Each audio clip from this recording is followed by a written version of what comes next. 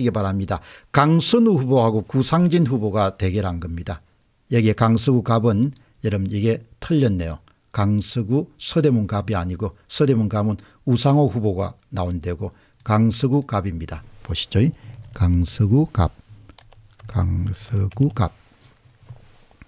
예, 강서구 갑입니다.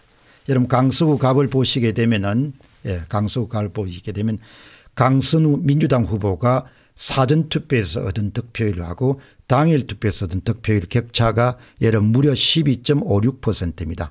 이거는 나올 수가 없는 수치입니다.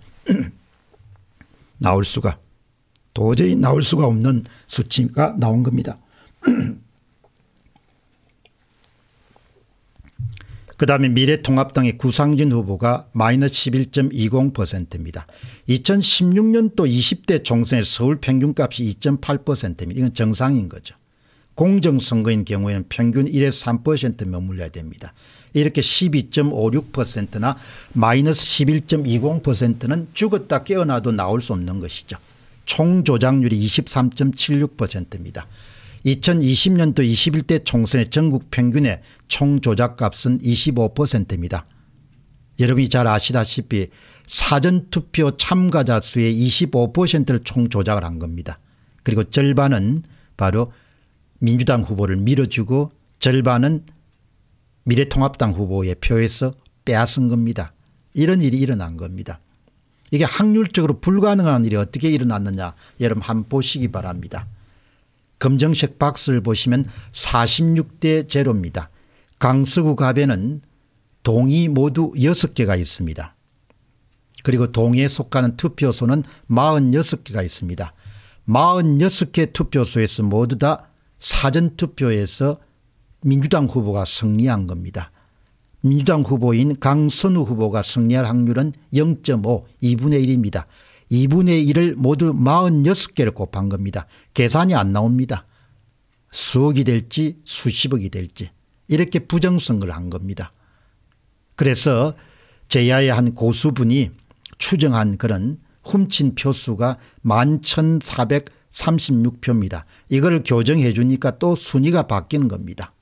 민주당 후보가 낙선하고 민주당 후보가 중앙선거관리위원회가 6만 3천 표 대 4만 3천 표 2만 표 차이로 승리했다고 하는데 여러분들 교차 투표수를 가지고 교정을 해 주니까 오히려 미래통합당 후보가 5만 4천 표 대 민주당 후보가 5만 1천 표로 순위가 바뀌는 그런 상황이 벌어지게 됩니다.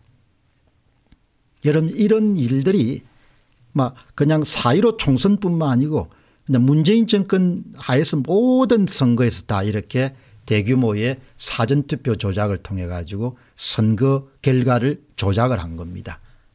이런 사실을 우리가 해결을 하고 넘어가야 안 되겠습니까 투표 때마다 이렇게 조작을 하면 어떻게 하겠냐 이야기죠. 그리고 강동구 갑에 진선미 다선 의원이죠. 이 수위가 붙은 경우입니다. 진선미 의원은 다선 의원이기 때문에 얼굴이 좀 많이 알려졌습니다. 67년생이고 대한민국 전북 손창군 출신입니다. 성균관대 법학과를 졸업했고 변호사입니다. 예. 의정활동을 비교적 활발히 하는 사람 가운데 한 사람이죠. 음. 진선미 국회의원도 부정선거로 당선이 된 걸로 보입니다.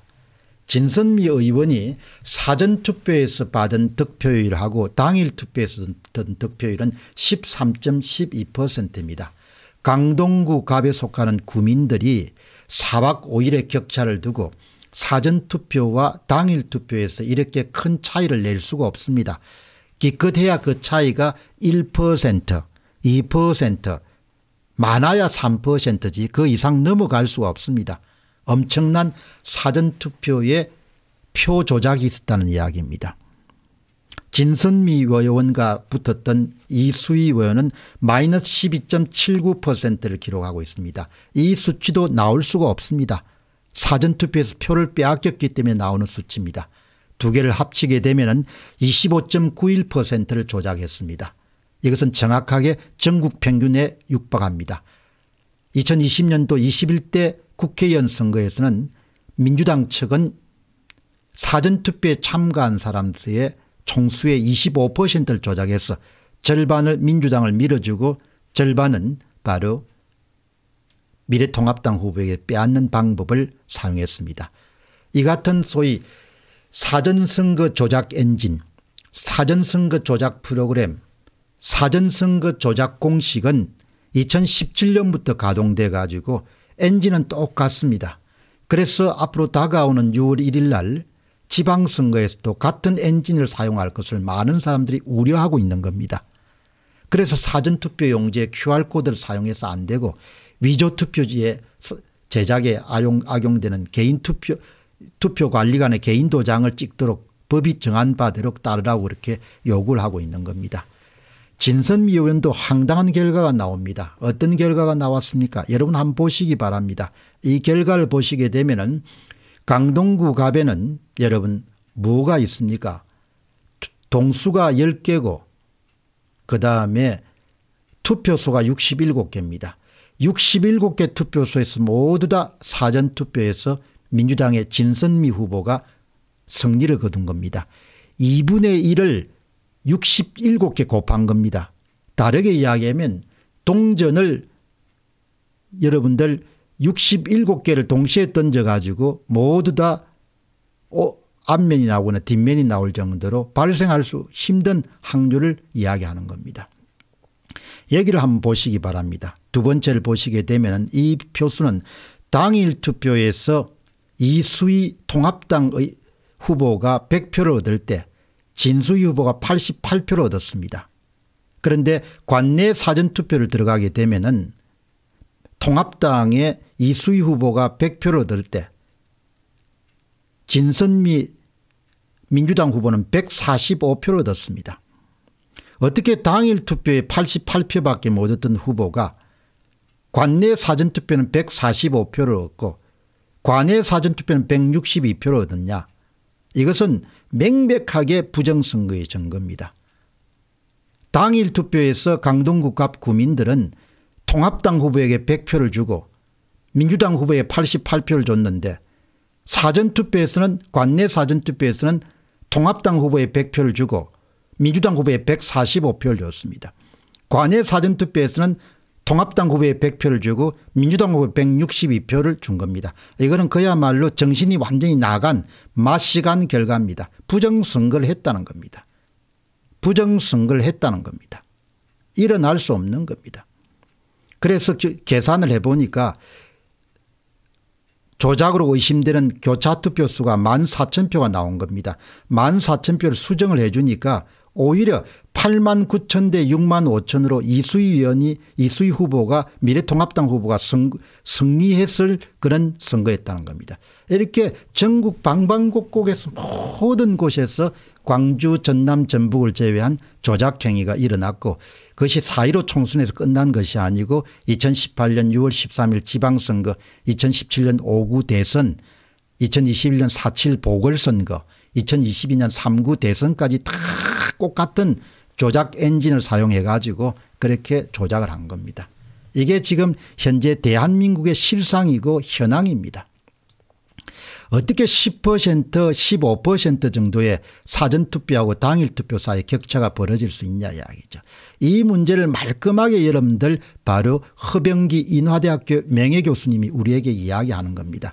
명예교수님 뭐라고 이야기합니까 조작되기 이전에 후보별 득표율은 정일영 후보든 민경우 후보든 인천연수의 이정미 후보든 다 같아야 된다는 겁니다. 당일 투표하고 관내 사전투표하고 관내 사전투표 0.38로 다 같지 않습니까 민경우 후보가 0.42로 다 당일 관내 관내가 다 같습니다. 이정미 후보가 0.19다 같습니다.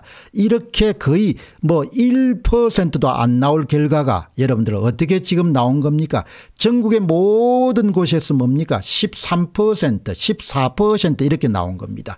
이런 엄청난 조작을 해서 여러분 선거를 도둑질을 한 겁니다.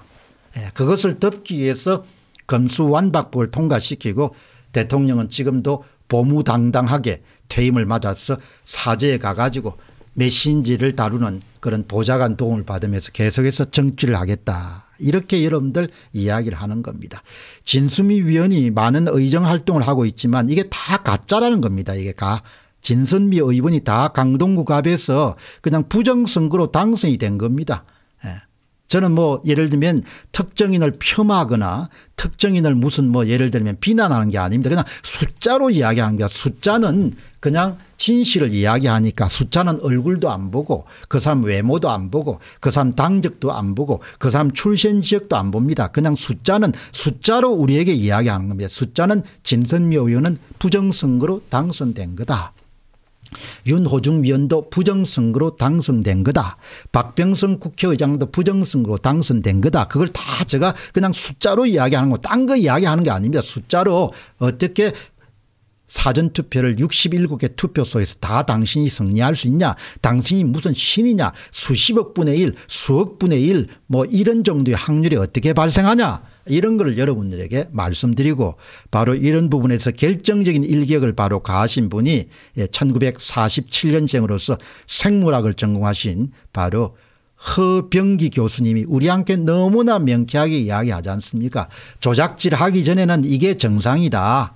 예, 조작질하기 조작질하기 전에는 민경우 후보가 5만 2천 표를 얻었고 정일영 후보가 4만 7천 표를 얻었고 이정미 후보가 2만 4천 표 얻었다. 그래서 인천 연수의 4.15 총선에서 12만 5,454명이 모두 다 투표에 참가한 투표자 수다. 그러니까 민경욱이 성자다. 예. 그 성자가 조작하기 전에는 결과가 어떻게 오냐 후보는 모두 다 당일 투표하고 사전 투표가 다 비슷해야 된다. 이게 정상이다. 그런데 너희들 무슨 짓을 했냐. 예. 조작을 한 거 아니냐. 예.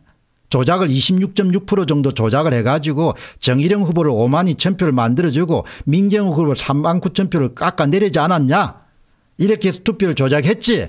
근데 이 조작을 한 결과가 6월 23일 날 인천 연수를 재검표를 해보니까 투표지가 엉망진창이 나왔으니까 배춧잎 사전투표지 일장기 뭐 당일 투표지가 천장 이상이 나왔고 본드 투표지 자석 투표지 뭐, 뭐 별게 별게 막 신권 다발 같은 그런 투표지가 나왔지만 그것을 여러분 뭐죠? 예 선관위 성소 판결 내리게 지금 국회 저 대법관들이 그냥 시를 끌면서 지금 질질 끌면서 정치권의 눈치를 보면서 그냥 지금까지 끌어온 거 아닙니까 이걸 어떻게 덮겠습니까? 이거를 나라가 망하면 모르겠지만 이걸 다 그냥 어떻게 듣겠습니까? 많은 사람들이 이 자료를 다 공유하고 있는데 민경욱이 민경욱이가 이겼다는 것이 이게 다 나와 있는데 이걸 어떻게 그냥 조작을 해가지고 이렇게 붉은색을 만들어 놓냐? 너희들 진짜 정신이 있냐? 이야기하지 않습니까?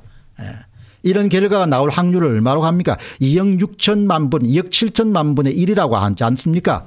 허병기 교수님이 1947년생 허병기 교수님 무슨 뭐 관직에 욕심이 있어서 이야기하겠어 하도 한심해서 이야기를 한 거죠. 여러분 이런 결과를 만들어낸 겁니다. 이렇게 전국을 조작질한 겁니다. 음. 그러니까 272석의 더불어민주당 국회의원 가운데 태반은 다 대부분 전남 광주 강, 저 전북을 빼고는 다 가짜 국회의원이죠. 왜 당락에 영향을 주지 않더라도 부정선거를 한 거니까 중앙당 차원에서 사전투표 조작을 한 거니까 그러니까 할 말이 없는 겁니다. 예. 나는 부정선거 안 해도 당선될 수 충분히 있었는데 그렇게 말씀하시고 싶은 분 계시겠죠. 그러나 조작값을 전국에 다 돌렸으니까 예. 이건영 씨가 전국에 조작값을 다 돌렸다고 이야기했지 않습니까 2020년 4월 16일 날 보정값을 발표했잖아요. 그 보정값대로 지금 우리가 착실하게 이야기하는 겁니다. 2분의 1성에서 44성은 나오지 않습니다. 숫자가. 예. 11성을 넘 11성부터 0이 나옵니다. 11성. 10성까지 0.001이 나오고 계산이 안 되는 겁니다. 계산을 할 수 없는 겁니다. 예. 이렇게 여러분들 가짜 국회의원 전성시대가 열리게 되었다. 그리고 가짜 국회의원들이 그야말로 이번에 검수완박 법안에 국회의장인 박병석 씨 대전 서구 갑부터 시작해서 부정선거를 한 거죠. 그걸 다 이 장에서 말씀을 드린 거죠. 자 그러면